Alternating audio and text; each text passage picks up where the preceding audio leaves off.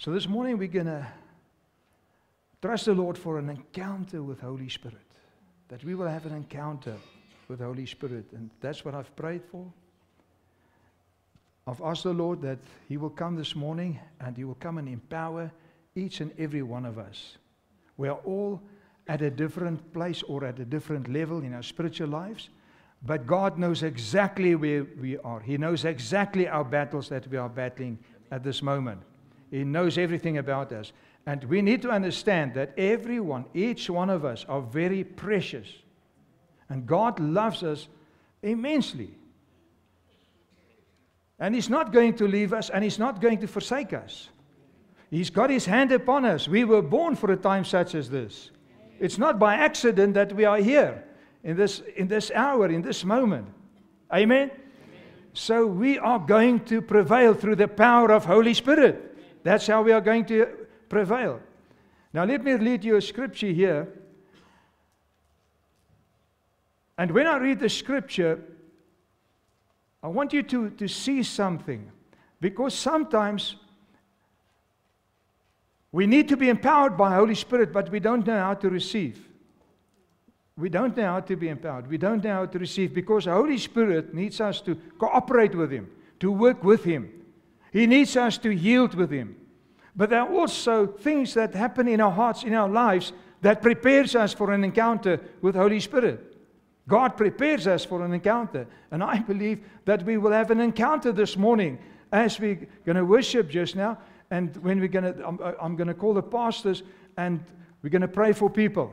I'm going to trust God for a, for a breakthrough and for victory and an encounter. Now, let me read you this scripture here in Isaiah chapter 57, verse 15.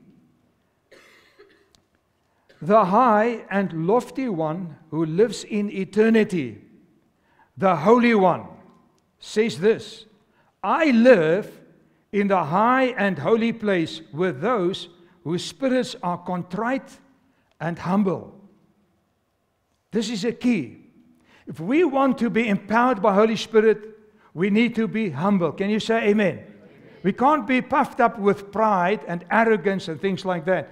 We need to yield. Say yield. We need to yield to Holy Spirit. We need to welcome Him to come into our lives, to change our lives, and not resist Him. Now, this is the thing about the religious spirit. The religious spirit resists the Holy Spirit, like in the times of the Lord Jesus Christ. His enemy, enemies were the religious people of that time. They resisted the Holy Spirit all the time. Now, the word says here, I restore the crushed spirit of the humble. And maybe you are here this morning. I don't know about you, but I don't think I've been so crushed in my life as I'm now, right where I'm now.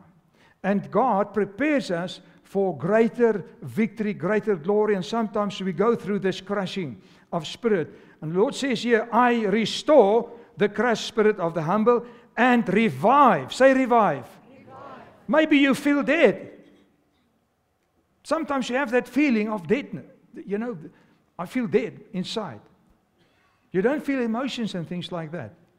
It happens sometimes. But God says, I will revive you. The, the, I will revive the courage of those with a repentant hearts. Can you say amen? Now, Pastor Marcel, he has led us through the last, I think maybe more than a year now. It's longer. He's led us through repentance.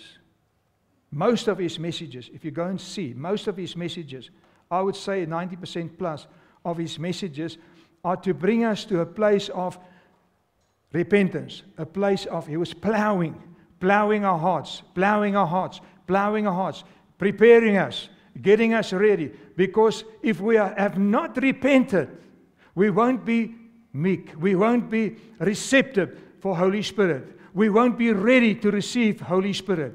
But thank God we've gone through this, this process of repentance. Can you agree with that? Amen. Amen. I'm sure in this house there's nobody that has not gone through this process of repentance. House cleaning, house cleaning, looking at ourselves, you know, and allowing God to, to come in and to change our hearts, to get our hearts ready. Now, this, I believe, is also what happened with the, with the early church, the early disciples of the Lord Jesus Christ after the crucifixion. Remember that all of them really uh, deserted the Lord Jesus. All his disciples. They, they became afraid. They were fearful. And so they hid away for good reason because, I mean, they were his disciples and uh, he, was, he was put on the cross. And so they hid because they did not have the power of Holy Spirit yet.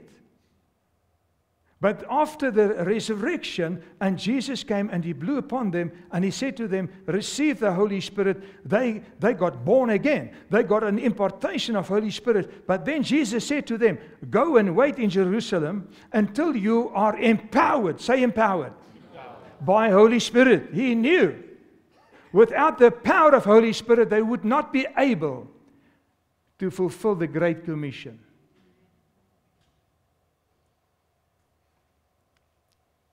So after the ascension, that was 40 days, after the resurrection, they went to Jerusalem and they, they went into the upper room. And for 10 days, they prayed. And I believe in that time they really repented of all their sins. There was, I believe there was just, just a, a time of pouring out their hearts, pouring out their hearts before the Lord. And God had an appointment with them.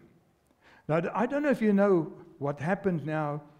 Um, 40 days ago, there was a solar eclipse in America.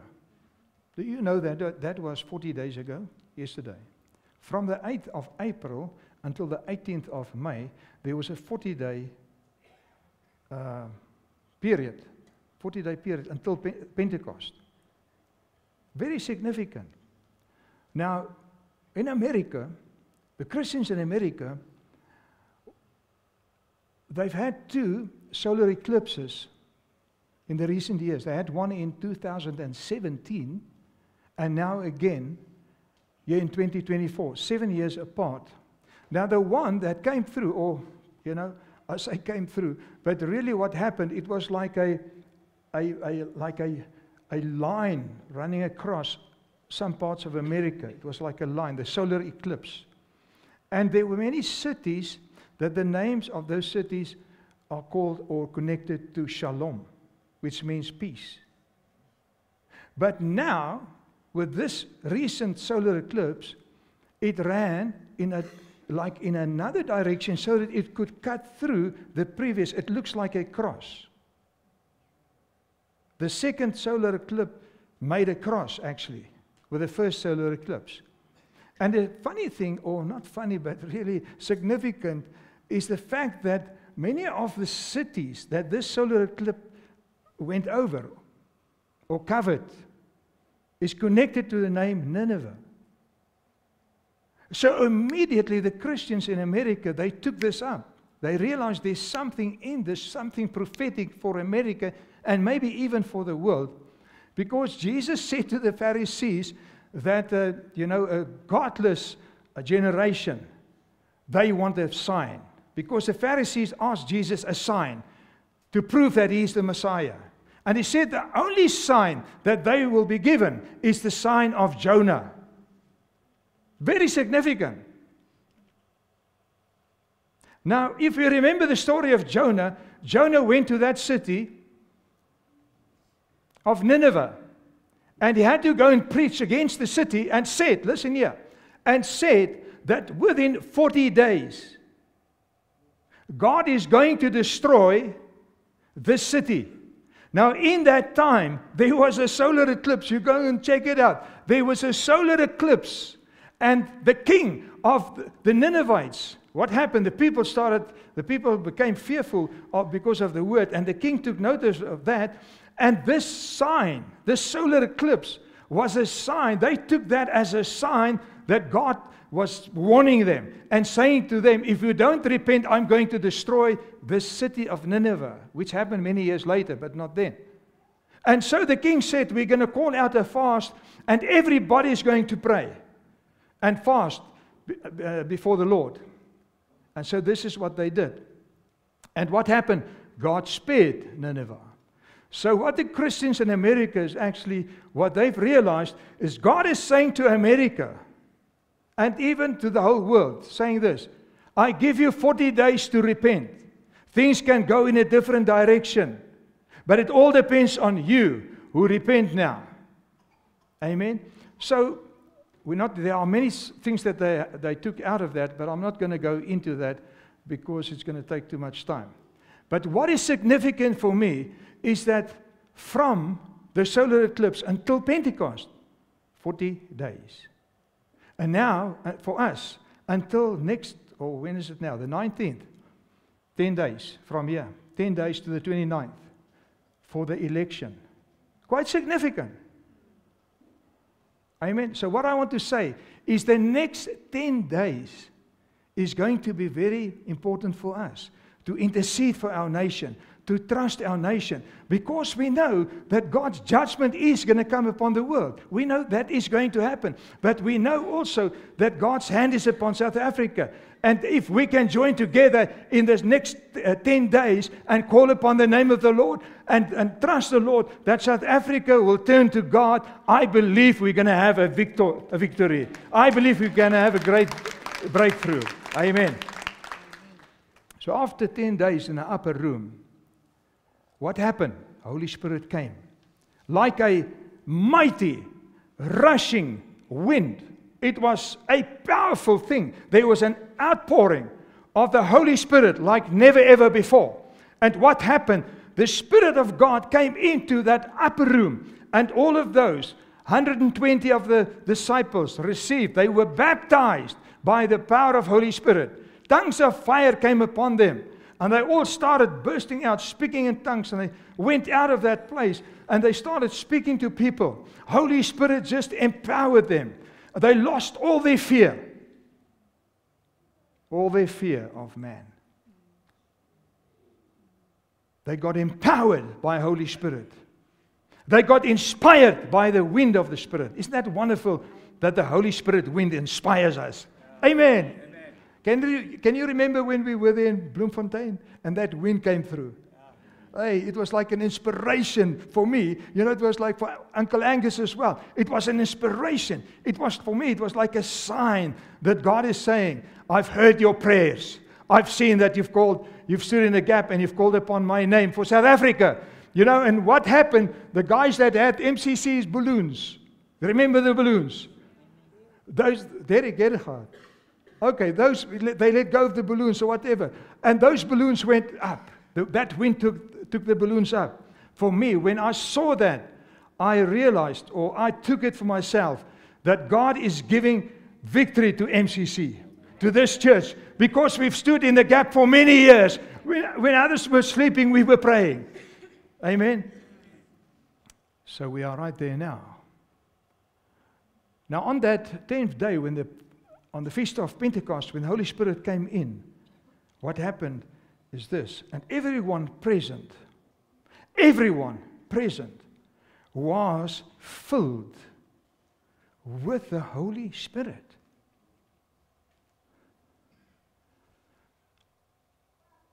Some never ever has something happened like that. Where people got filled with the Holy Spirit and began speaking in other languages. That is a sign. As the Holy Spirit gave them this ability, say ability, because that is the word I want to focus on this morning ability. Here's the thing this morning the outpouring brought something, the outpouring brought a supernatural ability to mankind, to God's people, that was not there ever before. Yes, in the Old Covenant, old, there were some men that were called by God and they received an endowment, if I may call it that. They, they received an empowerment from the outside of Holy Spirit, but never ever something that happened on Pentecost. Because what happened, they were filled with Holy Spirit. The Holy Spirit came into them, and the Holy Spirit came upon them. And the word says here, they were given an ability of Holy Spirit. Now, I want you to remember this word because this morning God wants to say to you, I've given you an ability, a supernatural ability to be my disciple, to be my child, to be my soldier. I've given you this supernatural ability. And I looked in the, the uh, concordance what this means, this ability. It means a capacity. So when we get baptized with the Holy Spirit, we get a capacity, a certain capacity. Maak sin? Ek dink in Afrikaans is dit kapasiteit. Is that that ability to store is like a capacitor. Those guys that are in the electronics knows that you get a capacitor. You can put energy in it. It takes an electric charge and holds that charge. That's in a capacity. Also like a battery. A battery has got a capacity. It can, it can um, keep current, it can hold a charge. It holds a, a charge. When you turn your key, there's an energy. It comes from the battery. There's a capacity in that battery to give energy, to give current on the demand. So, this word capacity, God has given each one of us a capacity of the Holy Spirit. And that can, capacity will also be increased as we walk with the Lord that capacity becomes bigger and bigger as we walk with Holy Spirit. The second word is the word capability. Capability.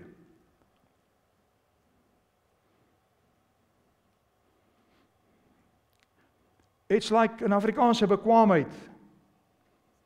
Holy Spirit gives us the capability to do things for the Lord that we never had before, to witness. Amen. Jesus said, You will receive power and you will be my witnesses.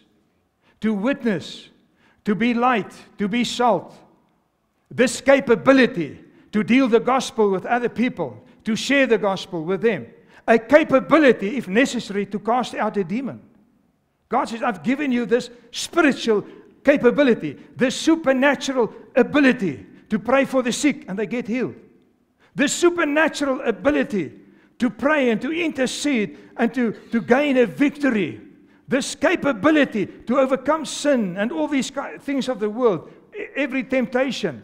It's the capability of Holy Spirit in us that gives us this power. The next one is potential.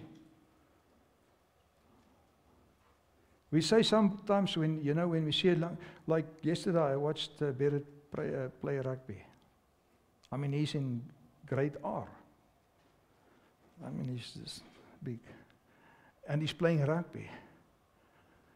I mean, what a, what a treat to see that. When I saw that, because I saw his potential. I don't know how many tries he scored. Julle het julle boek gehou van die kwaad. Niks. I'm boasting because of the Lord. Can you say amen? Jy moet trots wees op jou kleinkinders. Amen. amen. Prys die Here. I mean he scored I think must have been 10 tries that he scored. And I saw a potential. Now this is the thing. When the Holy Spirit comes on our lives, he brings to us, he imparts to us a great potential something that we can grow into, something that we can, that we can receive over time, a potential that God can, can use us in greater ways. You know, Reinhard Bonnke didn't start with, with Africa. He didn't start with, with, with thousands of people, preaching to thousands of people. He started maybe with 10 people and so on. But you know, towards the end of his life, he was preaching to millions in Africa. But you know, when he was a young Christian, he went out in faith and he started preaching by faith. There was a potential And that potential had to come to its fullness. Are you here with me this morning? We all have a potential. Say to somebody, You have got a potential, a Holy Spirit potential.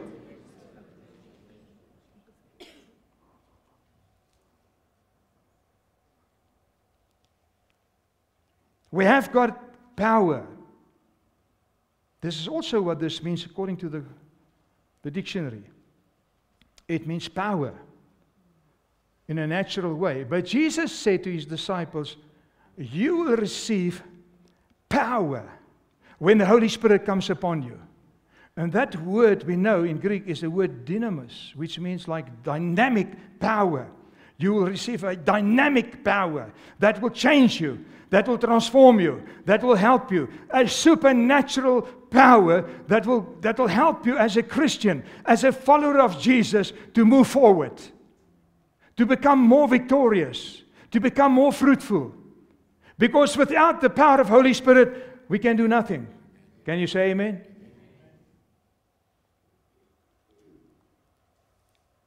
Now that's the key, what I'm giving you this morning. It's the key. Why am I saying this is the key? Because you know what we do as, as men?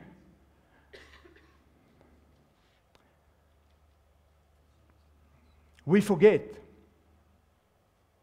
where our power is. We forget who is our source. We forget who called us. Amen.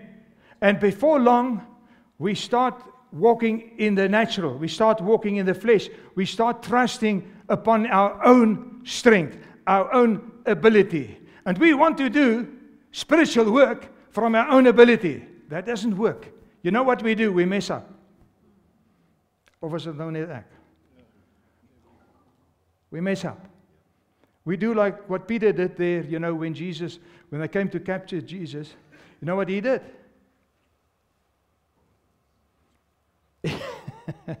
and he pulled out his sword there and went, wow. We cut off those, the oak's ear. And that's what we do, you know, when we trust in our own ability. Because Jesus said, I will build my church. I, Jesus builds his church. And the gates of hell shall not prevail against it.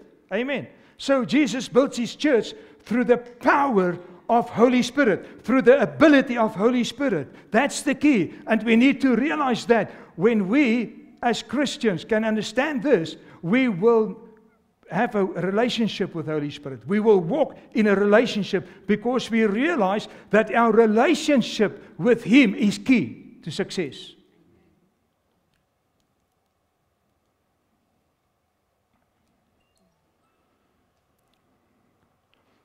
I knew that before I came into ministry. But you know what? The first three years of my ministry, I didn't really think, I didn't, uh, for some reason or another, I prayed and everything, but I didn't really acknowledge or understood how important that is for God that I would understand that He's the one that does the work. It took me three years to find that out. In, and in that three years, I've read any book that I could lay my hand on, on church growth, developing leaders, you know, getting better prayer results, all these kinds of things. But after three years, I was exhausted. I was burnt out. Because I was doing it in my strength. And then I had an encounter with Holy Spirit. And that changed my whole ministry, changed my life. And from there on, I realized that it's not by might, not by power, but it's by the Spirit of God.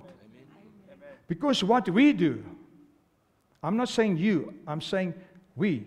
That includes me.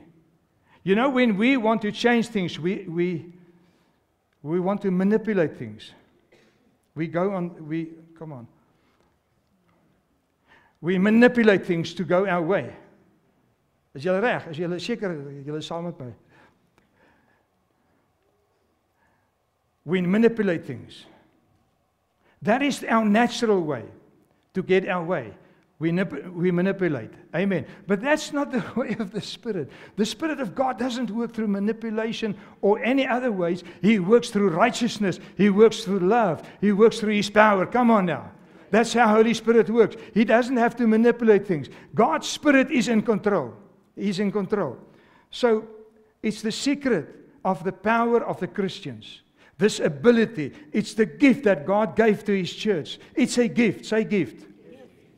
It's not something that we can work for, something that we, that we can deserve.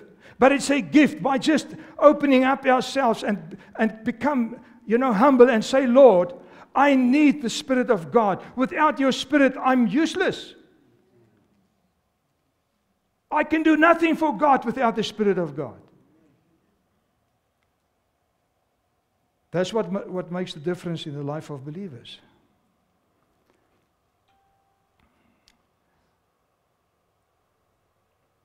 I read a book where somebody wrote about Reinhard Bonnke when he was in Africa, some of the missionaries. And they said that Reinhard Bonnke, when he came into like Zambia and he came with these crusades, he accomplished more in two weeks than what the missionaries have accomplished in 20 years.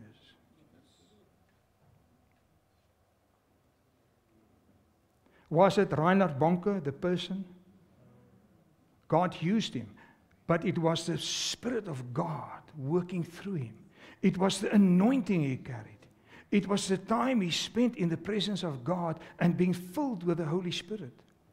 And I can say the same thing of Uncle Angus in our nation. You know, show me another man in South Africa that can bring, like, you know, more than a million people together in Bloemfontein. Just one example for a prayer meeting. Come on. You know, how is that possible? It's not the man, but it's the gift of the Holy Spirit upon that man that empowers him, that gives him the ability. That's the key, that's the secret, and the gift that God has given him for him to accomplish God's work. Without that, we can do nothing. And it's available to every believer. By his ability, our lives become supernatural. Say to somebody, I'm supernatural. Do you believe that? Kobus, jy's supernatural. You are supernatural. Why? Because you have received the Holy Spirit inside of you, who is the supernatural Spirit of God, the one that works miracles in our lives, the one that changes things in our lives. He's the supernatural Spirit of God that can change South Africa, that can change our future. Come on now. Do you believe that with me? You see, the Apostle Peter, he was called Simon. We all know that. That means reed. That means, you know, he was weak. And Jesus said, You are not, you are, I call you Peter, which means rock or a stone. Amen. Now, after this encounter with Holy Spirit in the upper room, this same Simon that denied Jesus three times in front of a, a lady, a servant girl. He went out and he preached to thousands because people gathered around that place where they heard this sound.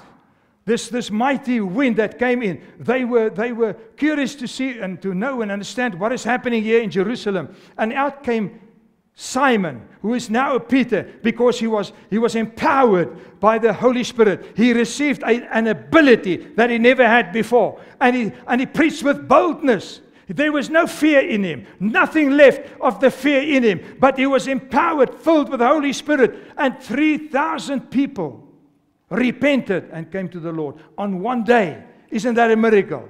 Come on, that's the, that's the Holy Spirit power. Now, let me say something to you. It was not only Peter, there were 120 people there. And I was thinking, Lord, how did these people, only 120, how did they manage to take care of 3,000 salvations? I mean, they didn't have any seminars or training books or you know anything to equip them. The only thing they had was the teaching of Jesus. But then they got empowered by Holy Spirit. You know, and there's nothing written in the Bible. All we know is that they had house churches. They came together in houses. And, but then they also gathered in, in, in Solomon's temple. But how did they handle these, these other 3,000? And I believe Holy Spirit gave them the ability and He gave them the strategy. It's not written, but He gave them the ability and the strategy to bring those 3,000 into the kingdom of God. We become strong and courageous when we are touched by Holy Spirit. Come on, can you say amen? amen? We become a blessing through the gifts because we receive the gifts of the Spirit. We become fruitful and effective. Het jy al as Christen gevoel ek ja, ek dink nie ek is baie effektief nie. Jy nou ek weet vir hoeveel mense het ek gebid.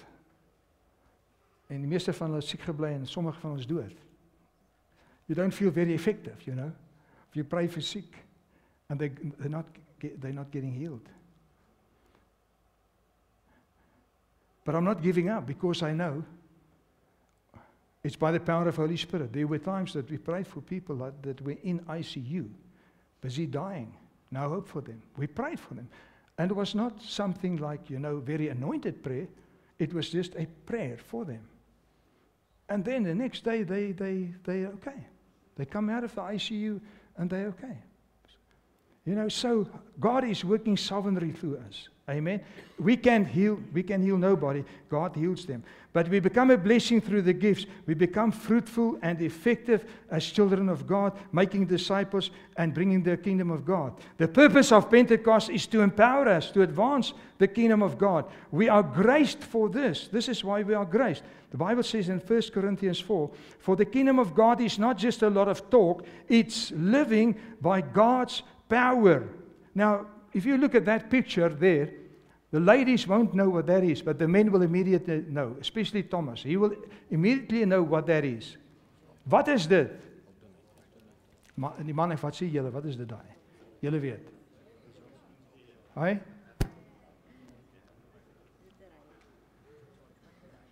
Eierklitser. Wat is dit?